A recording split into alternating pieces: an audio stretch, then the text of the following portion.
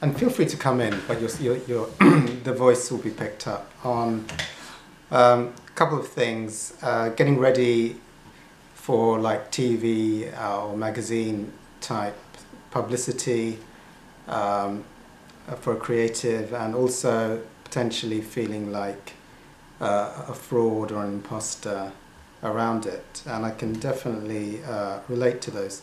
I think um, the thing with uh, preparing for um, like a magazine journalist or a TV journalist or something is uh, miracles happen when you've let go of your um, you.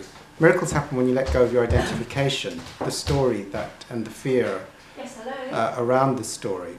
So sure. there's there's two things. One is uh, there's the emotional component, and then there's the thought component. So you want to fully let those go until they're they're all released.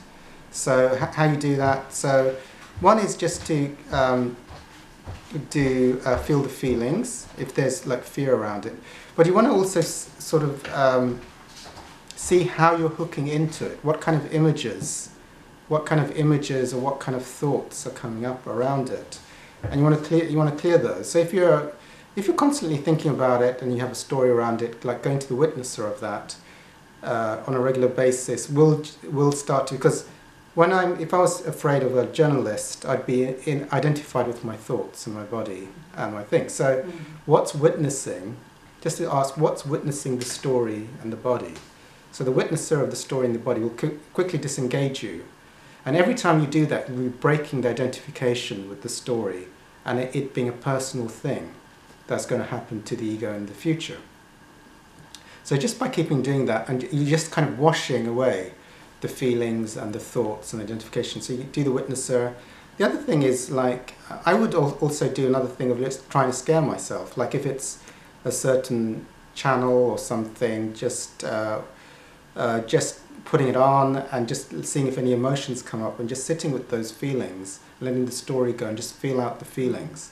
Sometimes with something like that, I found if there's a charge, if you do a long, like say I'm worried I'm going to speak to a journalist next week, I'll, and I'm feeling a bit agitated, I might sit down and do feel the feelings for as long as it takes to get this sense of total release. You go to, into a deeper peace, and that, and if you keep doing that, that will also like wash away that. And as you do that, as your vibration increases, it, it'll be a better and better encounter. Also, if I'm going to meet a journalist, I'd be, if I can find their name, I'd pray for them. You know, pray for a miracle to see John Smith differently, if it's John Smith or whatever. Pray for, you know, just pray for John Smith, um, and get that connection. Also, you you get that um, you get that intu- intuition of how to deal with. One of the things for me is like, um, you know, when um, if okay, the thing with the imposter or the fraud thing is um, one of the things that really, really, really, really helped me uh, with the imposter and the and the fraud thing was that. Um, uh, with the imposter and fraud thing was that, however, um, I once had like um, uh, I put it out as a hypnotherapist. I put it out to that I was available to help newspapers and stuff, and I got a phone call from the Metro newspaper, and I, I shared some some simple tools with them, and um, but what really helped me is that the fear I had was that other hypnotherapists are going to judge the level of my hypnotherapy and NLP skills. I wasn't worried about the public judging me, but I was worried, oh, the experts will judge me for, for being in that position. But then I realized that whatever you say and whatever you do, um, even if I know very little, I know more than a lot of people, you see. So, like, even if I know, like, m- to, to just focus on my breathing, that's the only thing I know about meditation. And uh, I probably think that that's probably not very advanced. But if I just spoke to someone and taught them how to breathe, that would be like that's like an amazing thing just for thousands of people. So I just I don't have to be like you know I don't have to be I just have to have to say something that's useful. The other thing that really really helped me like when with speaking and stuff is, um, which is slightly off the spiritual field, but I mean it is a spiritual field. It's, it's just being of of service. It's, it's, so that takes my self-centeredness out of it. So like if if, if uh, like I'm speaking about spirituality and there's an audience and there was a journalist, I'll forget it's about me, and it's just about how to mm. channel love mm, to the audience. And you know, the, if there's a journalist in there, it's not about the journalist particularly. I'd probably like I'd probably tune out the journalist and just be of maximum love, a pure channel to, to emanate as much love to the audience as possible and just forget about the journalist. I mean, the, the journalist is part of the audience, but emanate love to the journalist as well. Um, if, you know, the, the, stuff that comes up, my mental dialoguing around a journalist being in the room or me having to be an expert, for me, you know, you just, um, uh, like praying for, you know, the Course in Miracles I think is very good, like praying for a miracle, shifting my perception, that I have to be an expert and have to perform perfectly, that will release it. Or uh, pray for a miracle um, to see John Smith, the journalist, differently. And then you'll start to get a different perception that that's just a regular human being. Because uh, if I see them as something scary, then I, you know there'll be a disconnection. So as you as you sort of see them, eventually you know you want to get to the place where they're just a regular human being. You know that that you're just connecting to on a heart level, and it's not not. A, and the other thing you know that was really really interesting I don't normally talk about Dr. Hew Len, but I, I, I, watched something from him, the Ho'oponopono guy, and he would like, and he said something really interesting. And like when you're doing this enlightenment work, what you're doing is you're clearing anything in your perception that hooks into the to the data, or the objects in the surrounding. And he would like, he and he said like when he was going to give an interview, that he would he would like clear everything, like the camera, he would clear the camera. Mm. And I understood what he was sort of saying. It's like, it's like you want to sort of let go of your identification. And then remember, in truth, in truth, there's only oneness. Yes, in truth, there's only oneness. So if your ego is tracking separation or fear in any object, or even on some level, I'm sure he was clearing that the camera is like a portal to a larger audience. This might scare you, but then you clear that, you clear that fear away within, you can do that through the observer, through field of feelings, through specific prayers like praying for a miracle and a shift in perception to do around it. And you just keep doing all of that until you feel you can't track it any longer. You know, at a certain point when I'm, if there if there's something I'm afraid of in the future, if you do enough spiritual like field of feelings, the observer, pray for a miracle to see it differently, uh, and uh, do that. At a certain point, it, you automatically let go. You can't hold on and track that as a future outcome that you're afraid of. So you've cleared everything in you that, you know, I'm afraid I won't be perfect, or I'm, I'm afraid they'll judge me for not being good enough, or I won't have a good day on the day. And uh, you, you, you, you release all of that and, and sort of see it differently. Other things to do if you don't have enough time, let's say suddenly you've got an interview next week with a journalist or something, then um, if I haven't got enough time to do 100, there's few things to do with 100% clearing something. One is to provoke myself as much as I can, scare myself as much as I can, and then clear it, like bring it up. That's the old hypnotherapy trick as a hypnotherapist. You know, it's like uh, if you've got someone and they're afraid of, as a hypnotherapist, if you've got someone that they're scared, scared of spiders, but there's no spider. You just make, you just get them to visualize a spider and scare them witless, and then, then you can like work on them, and you can just clear their energy field. So, because if they're not if they're not if they're not feeling the emotion and they, they haven't got the story, it's harder to clear it fully from the system. So, let's say um, I don't know. Let's say uh, uh, let's take let's say um, the the telegraph I just made it up. I haven't got anything with the Telegraph. The Telegraph, I got journal, I got a, uh, got an interview with the Telegraph next week. I'd probably like put a Telegraph on my table, you know, and uh, uh, or something, just so that it's in my face.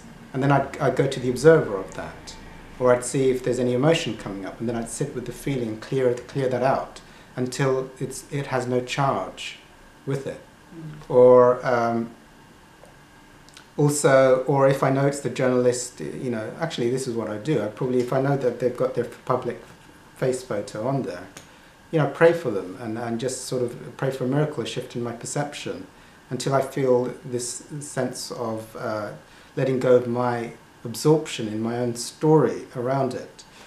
Um, other things are uh, that, you know, as you go up the levels of vibration consciousness, it's always to serve the greatest good.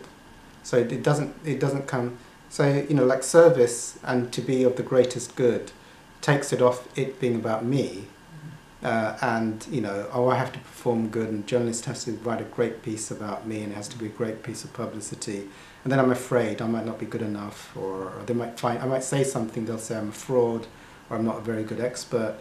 But then if it's like you know, if I align myself and let, let that go, it's like, you know, the the highest I can align myself. If I when it when I align myself, like I'm only here to be um, to be here of service for the highest good of all concerned, then it, it totally takes off. You know, totally my ego starts to disappear, because it's like, well, you know, they're just a room of people, and how can I serve for the highest good for all concerned?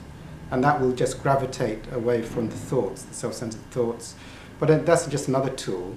The other thing is, if I haven't got enough time to fully clear out the energy before the before the journalist uh, appointment, then um, I would do some things, um, especially on the day, just to make sure before you go in that you're, you're spiritually connected as possible. Like, you know, I might watch like a Mooji, uh, Mooji on YouTube. Like, you know, um, there was a story where um, this is a true story of me. Like, after I had this transplant operation, uh, and I said I won't take any painkillers. I'll feel feel the feelings without the painkillers. And I was doing the Lord's Prayer and just fully welcoming the feeling. And at a certain point, like this inspiration come in. You've got you, have got Mooji on on your headphones to stick him on, and he was just saying, "Go to the observer." I went to the witnesser of the whole situation, the pain. I went to sleep. You see, so just that reminder from an advanced spiritual teacher, or I have YouTube videos on the observer tool. Just listening something, and then you suddenly automatically that the grace of the teacher will help you to detach from your story and you, if you do that just before you go in to the journalist appointment, then you'll be at that, that vibration without the self-centered ego attaching to its fear-based, you know, you'll be on a, on a different plane and you just, you, you'll be channeling. You'll be channeling from grace rather than just being in your self-centered ego, being worried about being judged or, or whatever. So those kind of things, you know, it comes to you, you know, like when you're when you're very self-centered around it, identified with the ego, then it's very fearful. I'll not be good enough. They'll judge me. And then as you let go, then you get these higher, higher uh, interpretations of what the event is. Oh, it's it's about giving as much love into the thing, and then it's about and then it's about letting go of all of that even and just being the witnesser and just let grace come through and just orchestrate the thing. Because I, I know that the more I'm identified, the worse everything goes with my ego. Mm. And then if I align myself with, what, so being in my ego is being in my ego, and then I'm afraid and I'm worried about everyone judging me, then I can have a spiritual intention, which still means I have an ego, but it's like I'm trying to have the highest motive with an ego that I can. So the highest motive with an ego that I can have is to be of love and service. But still me trying to be of love and service. You know, so it's me there's still a Sabbir, but he's doing his best to be of love and service. And that's better than just being me only. Mm. And then, then there's the non-dual, or the being in the witnesser, which even forget there's a me trying to do service and, and trying to come across as loving or something, and just let everything go and being in the witnesser. And just stay present, mm. or just in the infinite now, the, uh, the timeless now, and just let everything unfold naturally out of that. And my experience is that that's, that usually is the best outcome, when there's no Sabbir. The second best outcome is, is there is a Sabbir trying to be of service, that's second best. And the third best is if, you know, uh, there's a strong ego Sabbir, you know, being worried about trying to be perfect and what people think of Sabbir and uh, blah, blah, blah.